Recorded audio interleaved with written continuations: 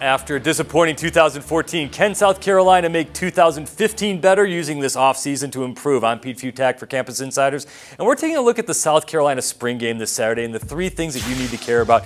The number one key piece of this puzzle, the pass rush. It wasn't there last season, and the JUCO guys are coming. So if you want to make an impact and you're on this roster right now, you got to rock it this Saturday because the guys are going to be there who are going to be on the line, who are going to get to the quarterback.